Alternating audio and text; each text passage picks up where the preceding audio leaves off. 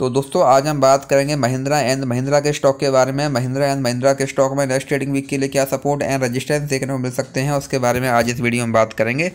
हम अगर यहाँ पर स्टॉक की बात करें तो हम देखेंगे जो ये स्टॉक है हमको अप्रैल से ही यहाँ पर लगातार क्लियर अप ट्रेंड में देखने को मिल रहा है। हमको यहाँ पर स्टॉक में लगातार हाइयर हाई हाइयर लो वाला पैटर्न यहाँ पर देखने को मिल रहा है। अभी रिसेंटली हमको यहाँ पर स्टॉक में बड़ी गिरावट भी देखने को मिली थी, लेकिन गिरावट के बाद भी यहाँ पर स्टॉक ने अपने प्रीवियस लो को ब्रेक नहीं किया। और अगेन हमको यहाँ पर स्टॉक में लगातार तेज़ी ही यहाँ पर देखने को मिल रही है। आज भी हमको यहाँ पर स्टॉक में 1.26 परसेंट की यहाँ पर एक अच्छी खासी तेज़ी देखने को मिली है।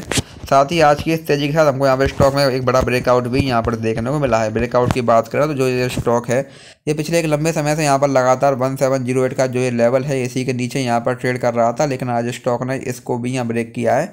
तो यहाँ से अभी हम स्टॉक में बात करें। अगर यहाँ से अभी स्टॉक में और तेज़ी आती है तो यहाँ से अभी और तेज़ी की कंडीशन में हमारे पास यहाँ पर स्टॉक है। वन सेवन थ्री सेवन का पहला यहाँ पर रजिस्टेंस देखने को मिलेगा। अगर स्टॉक इसको ब्रेक करेगा देन यहाँ से हमको स्टॉक में एटीन हंड्रेड और अगर स्टॉक यहाँ पर इसको भी ब्रेक करता है देन यहाँ से हमको स्टॉक है वन एट फाइव ज़ीरो इसके बाद हमको यहाँ पर स्टॉक में नाइनटीन हंड्रेड एंड देन यहाँ से हमको स्टॉक में नाइनटीन फिफ्टी और टू थाउज़ेंड तक के लेवल्स भी यहाँ पर देखने को मिल सकते हैं एज ए नेक्स्ट यहाँ पर रजिस्टेंस तो वहीं यहाँ से अब अगर स्टॉक में गिरावट आती है तो यहाँ से गिरावट की कंडीशन में हमारे पास यहाँ पर स्टॉक है वन सेवन ज़ीरो एट का पहला यहाँ पर सपोर्ट देखने को मिलेगा। अगर स्टॉक इसको ब्रेक करेगा देन यहाँ से हमको स्टॉक में one six seven two and then यहाँ से हमको स्टॉक में again one six two eight तक के लेवल्स भी यहाँ पर देखने को मिल सकते हैं एज ए नेक्स्ट यहाँ पर सपोर्ट तो ये स्टॉक में कुछ इंपॉर्टेंट लेवल्स हैं, आप इन पर ध्यान दे सकते हैं। बाकी वीडियो में कोई बाय सेल होल्डिंग सलाह नहीं है।